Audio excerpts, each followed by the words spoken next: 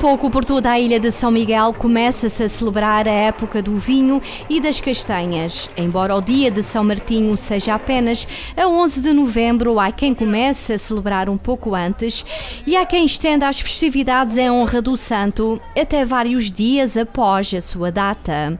As manifestações, ora espontâneas, ora organizadas, acontecem em quase todos os pontos da ilha e este ano fomos até o Caboclo, no Conselho de Lagoa, onde a celebração da festa de São Martinho, organizada pela Casa do Povo local, aliada a outras forças vivas da freguesia, já vai na sua terceira edição. Esta festa de São Martinho surge pelo terceiro ano consecutivo. Começou em 2013 portanto, e vai no terceiro ano. Portanto, eh, este ano, digamos que é o culminar eh, daquilo que nós idealizamos em 2012. Eh, este ano há uma parceria entre a Casa do Povo do Caboclo e o Grupo de Amigos de São Martinho também do Caboclo. Estabelecemos essa parceria de modo a rentabilizar tanto os recursos humanos como os objetivos a cumprir. A Casa do Povo do Caboclo cumpriu pelo terceiro ano consecutivo a festa de São Martinho na Praça Dona Amélia, em parceria com os amigos de São Martinho Caboclo, foi responsável por momentos de lazer e convívio junto da comunidade e visitantes.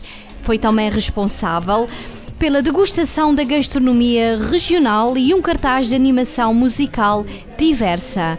Hoje nós temos o cortejo etnográfico, como é conhecido o cortejo tradicional de São Martinho, que vem ao fim e ao cabo a ser uma recriação da lenda do São Martinho. Ou seja, durante a noite haverá, haverá aquilo que é tradicional, o porco no espeto, as sardinhas, as castanhas e, digamos, muita animação musical no decorrer de toda a noite que hoje vamos presenciar a todas as pessoas que nos queiram acompanhar.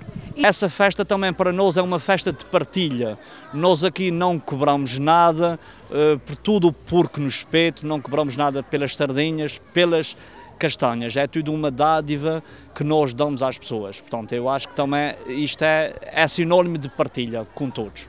Mas engane-se quem pensa que festejar São Martinho é apenas deliciar-se com as iguarias da época e com o vinho. No Caboclo, dá-se grande importância em dar a conhecer a história deste santo, como aconteceu com o cortejo etnográfico que percorreu algumas vias da freguesia, onde foram retratadas várias passagens, culminando com a representação da própria lenda.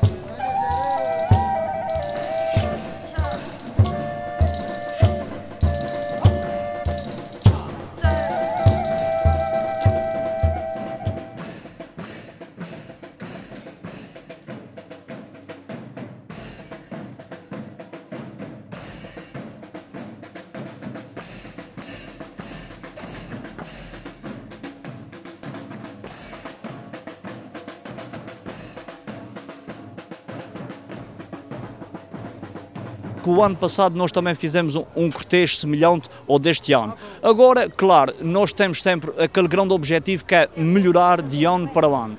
E este ano, como podem depois verificar, o cortejo vai sair muito mais melhorado, ou seja, vai haver uma re recriação do São Martinho, mas também todo um cortejo etnográfico que tem a ver com o povo, tem a ver com o clero, a nobreza, digamos, eh, de modo a dignificar também a lenda do São Martinho.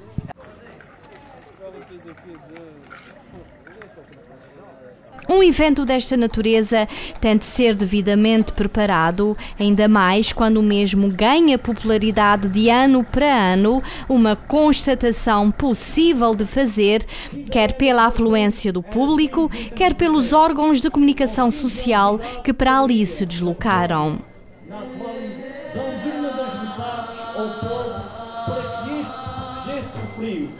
Nessa altura, chuva parou e o sol começou a ficando inexplicavelmente um tempo branco. Nós começamos com cerca de um, um, mês e meio, dois meses de antecedência. Como deve de calcular, há muita coisa aqui que hoje aparece e que nós temos que trabalhar muito nos bastidores para que em dois dias apareça todo o trabalho que é feito. E também há que enaltecer muitos e muitos colaboradores que direta ou indiretamente têm colaborado com o grupo de amigos de São Martinho e, a Casa do Povo de Caboclo. Tem vindo a aumentar e, e não só tem vindo a aumentar como como uh, tem surgido uh, grande cobertura por parte dos órgãos de comunicação social. E há que referir uma coisa importantíssima.